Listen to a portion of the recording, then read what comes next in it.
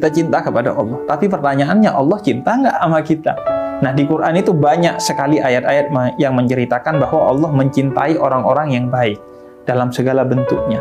Kita mungkin bukan orang baik, tapi ada satu ayat yang penting sekali bagi kita yang masih belum baik, yaitu Innallaha yuhibbul tawabin. Allah itu mencintai orang-orang yang bertaubat.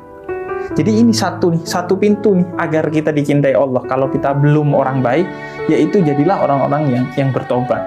Dan dalam surat Az-Zumar ayat 53 Allah katakan, jangankan dosa yang gede, dosa yang berlebihan, yang berlebihan deh. Apa deh sih dosa yang berlebihan yang menurut orang nih, wah parah lu sampai segitunya gitu. Kata Allah, dosa yang berlebihan sekalipun kalau kamu bertobat maka pintu tobatku tidak pernah aku tutup. Yang bisa menutup pintu tobatnya Allah itu hanya satu. Dan itu bukan Allah, tapi diri kita sendiri, yaitu dengan putus asa.